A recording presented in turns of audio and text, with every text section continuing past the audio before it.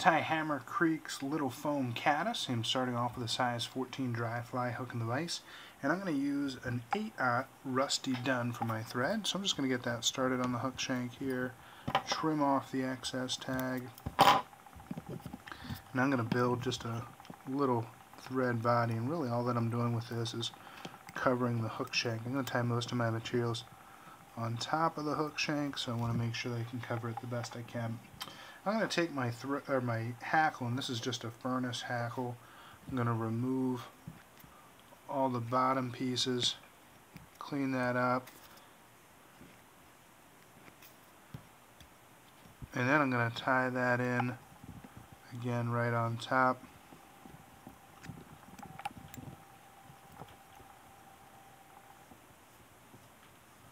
And I can trim off the excess. So the main body for this is uh, tan, um, and this is just a craft foam that I use, so I'm just going to bring this thread down all the way to about the point in the hook, the barb of the hook rather, and I'm going to take my foam, and I've cut it just into a, a small, maybe quarter inch or eighth inch section or so. I'm going to place this right on top, and I just want to extend just a little bit past the bend in the hook. I'm going to angle it towards me slightly because my thread's going to want to spin it around. And now all that I'm doing is advancing the thread and I'm trying to do it in nice even segments here because I'm laying the groundwork or the tracks really for my hackle. So I'm going to bring my hackle up through all of these turns.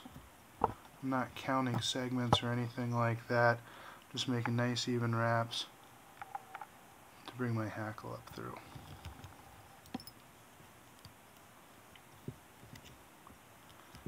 Alright, I'm going to leave that tag end of the foam on. I'm going to be using that here in the pattern as well. So now just to make this a little stiffer, I'm going to add just a drop of Zap-A-Gap on there. You can use head cement or nothing at all. Know, I just do it so that it's really tightens up and is a little bit more durable. Alright, now that I have that, I'm just going to start making my my wraps through. And on the back, since it was the starting point, I'm going to do two wraps. And I'll bring my hackle up through the rest of these and I'm also going to do two wraps or a wrap and a half rather so that my hackle is tied in on the top so that when I cut it off there's no stem or anything like that hanging off. So I'm going to trim up all this top part. I just want to make a nice base for my next material.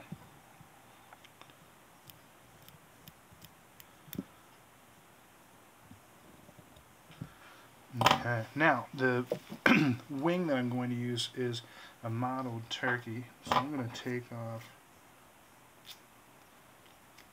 a section of it. So I've got that off. There's two ends. This is the one closest to the stem. It's uh, real stiff. Uh, and then as it goes out, it gets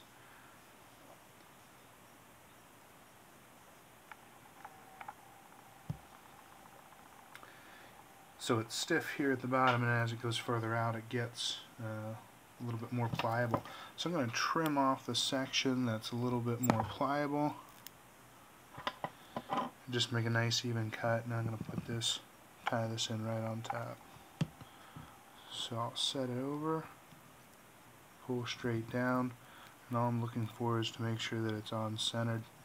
I'm going to take just a small drop of head cement I'm here. And again, not a necessary step. We'll add some strength to the pattern. And now, I take that tag piece of foam that I had, that I left on there, and I'm just going to double that over. And I'm going to make it its head. So I'll pull straight down. And then I can whip finish under here. You can either whip finish underneath by the eye or you can take it right into through the through the head. I'll trim that off. Alright, now it's just real clean up. So I'm going to take clean up around the, the eye here where some of the hackle may have pulled through. And I'm going to tr trim up this. And all I'm going to do is hold it right by the thread and just make a straight cut. And that's going to act as my head to this pattern. I'm going to take make a straight cut on the back of it and then I can come through and I'm just going to make a little V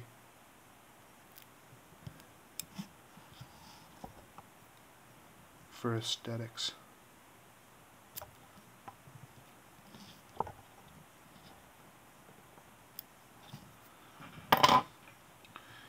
If you want to make the turkey a little bit more pliable as well, you can add uh, hairspray. Works real well to give it a little bit more durability to the pattern. So that's it. Pretty straightforward. Just uh, foam and some hackle. And that is Hammer Creek's Little Foam Caddis.